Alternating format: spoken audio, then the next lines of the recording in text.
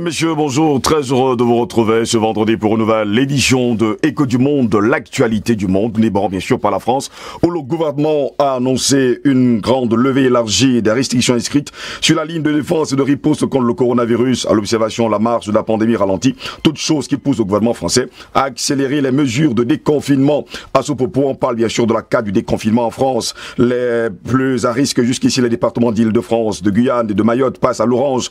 Parlant des mesures, la France passe donc à ce qui est baptisé phase 2 avec un assouplissement des restrictions sur les déplacements, les cafés, les restaurants et les parcs à partir du 2 juin prochain. Les principaux bons points de cette phase concernent notamment la fin de limite de déplacement de 100 km. Les lycées vont rouvrir dans tous les départements classés verts, c'est-à-dire sur tout le triangle national à l'exception de l'île de France, Mayotte et la Guyane. Toutes les écoles et collèges seront ouverts en juin, a précisé le ministre français de l'Éducation Jean-Michel Blanquer.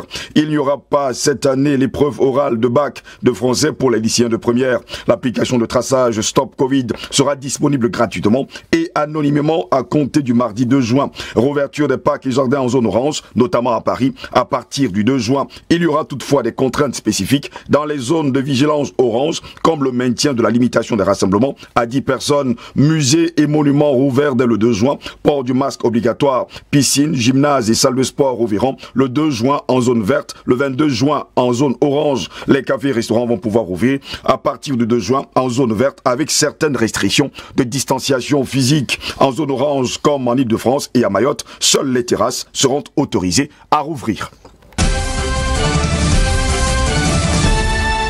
L'heure est à l'austérité au sein de l'alliance franco-japonaise. Renault l'a détaillé aux aurores de ce vendredi. Son projet de suppression de 15 000 emplois dans le monde, dont près d'un tiers en France. Tout part de son plan de redressement de 2 milliards d'euros annoncé la veille au syndicat. Toute la semaine, Renault, Nissan et leur partenaire Mitsubishi ont dévoilé des mesures pour réduire significativement leur capacité, leur coût de production. Depuis 2019, ils perdent de l'argent à la traîne, notamment sur le marché chinois. Une situation aggravée par les conséquences du coronavirus. Renault suspendra donc ainsi de son côté ses projets d'extension au Maroc, en Roumanie, mais également le frein du côté de la Russie. Par la même occasion, ceci devrait affecter quatre sites en France, soit Codan, Dieppe et sans oublier Maubeuge. De même, l'entreprise réfléchit également sur l'avenir de son énorme usine de fin dans les Yvelines, fabriquant la Zoé et surtout la Micra. Mais au final, sur les 14 sites de la marque Renault, un seul fermera les ses portes. C'est choisi pour lequel nous allons valoriser les compétences en région parisienne, a toutefois assuré le président du groupe Jean-Dominique Sénard lors d'une conférence de presse.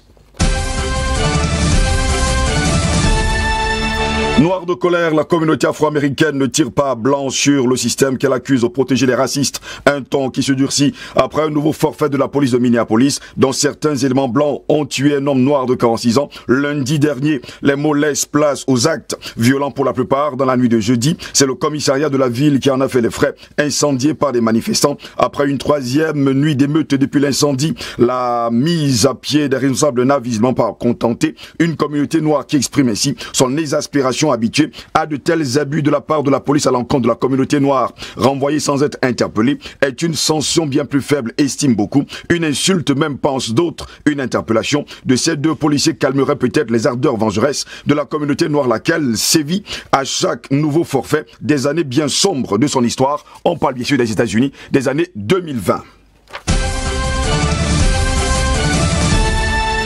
Journée d'horreur au Brésil. Hier jeudi, le pays a enregistré 1156 morts. Un triste record qui s'approche de celui de l'Espagne pendant les heures chaudes de la pandémie. Des chiffres inquiétants qui placent nos pays sur le podium des pays les plus affectés du monde. Dans ce classement, il est devancé par les États-Unis qui pointent à la première place. Le pays se couvre aussi du manteau d'épicentre de la pandémie avec cette 438 268 cas répertoriés, dont 26 417 au total. Eh bien, il y aurait pire bilan car pour certains observateurs, les chiffres avancés par le gouvernement seraient 15 fois inférieurs aux chiffres réels. L'État de Sao Paulo, le plus peuplé et le plus riche, se taille également la plus grande part en termes de décès. 6 980 morts rien que pour la journée de jeudi et près de 100 000 nouvelles infections. Mais à l'analyse des données rendues publiques par l'État, la situation est jugée moins funeste en considération du nombre d'habitants et des autres pays. Avec ses 210 millions d'habitants, le pays comptabilise un taux de 125 morts par million d'habitants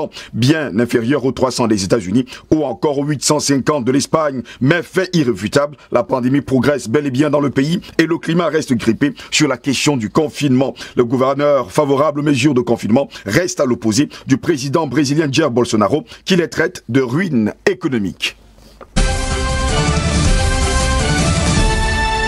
Après la réunion d'urgence convoquée à la demande des États-Unis et du Royaume-Uni pour l'adoption de la loi sur la sécurité adoptée par le Parlement chinois le jeudi 28 mai, le Conseil de sécurité de l'ONU discutera à nouveau du sort de Hong Kong ce vendredi. La communauté internationale accuse Pékin de vouloir restreindre les libertés fondamentales sur l'ancienne colonie britannique. La décision de la Chine d'imposer la nouvelle loi, écrivent-ils dans un communiqué commun, c'est de ne pas respecter la déclaration conjointe signée par la Chine et le Royaume-Uni, légalement contraignante et enregistrée auprès de l'ONU dans les années 1980. Cet accord prévoit la sanctuarisation de l'autonomie de Hong Kong jusqu'en 2047, alors que les quatre pays s'insurgent sur la Chine. Les diplomates occidentaux insistent sur la législation votée à Pékin, qui serait celle de limiter la liberté de la population de Hong Kong et de détériorer de manière dramatique son autonomie, ouvrant ainsi la voie à des poursuites politiques. D'ailleurs, ce sujet sera abordé de nouveau lors d'une visioconférence informelle et à huis clos sous un format permettant à tout membre d'aborder des questions diverses. Selon les sources diplomatiques bien introduites, la Chine ne pourra pas s'y opposer car la pandémie du Covid-19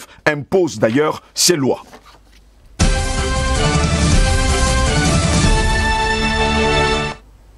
Mesdames, Messieurs, c'est ici que s'achève cette autre édition de Écho du Monde. Plaisir de vous retrouver demain pour une nouvelle édition. Restez sur DBS. L'information est en continu sur notre chaîne. Bon week-end.